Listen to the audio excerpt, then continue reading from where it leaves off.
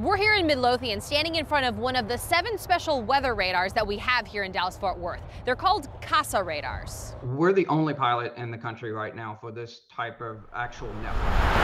CASA radars are cheaper, the National Weather Service says. Located in these seven cities, they also scan much faster than other radars. We use the traditional weather radar to uh, kind of give us that lead time to see when things are getting more favorable uh, for tornadoes, but we use that CASA radar to actually see that it's occurring and see exactly where it's occurring. Here's how it all works. The National Weather Service radars can see reliably roughly 150 miles away, Ted Ryan with the NWS in Fort Worth says, but only really in a straight line. The Earth, we know, is curved. the problem is, is as you go out 100 or 150 miles, um, your the beam is actually you know 10 20,000 feet above the ground. So it's hard to get a clear view of what's actually happening closer to the ground.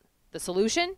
These CASA radars. Because it's only going about 15 to 20 miles, the beam just doesn't have time to get that far off the surface. So uh, the CASA radar network tends to look a lot lower in the sky. And this network of lower looking cameras helped detect a tornado in Tarrant County this week. What was unique about Monday was that the spin up process or the tornado developed from a process from the ground up. So that's why the CASA radar uh, network was able to detect it, whereas the traditional radar network was not. Here's what that EF1 tornado near River Oaks looked like on the CASA radar. The red and green represent winds blowing in opposite directions. The reds and greens were very strong and right next to each other. So we had a really good, strong indication that there was a tornado in that area. So if we didn't have the, the CASA radar in that area, would we have seen the River Oaks tornado?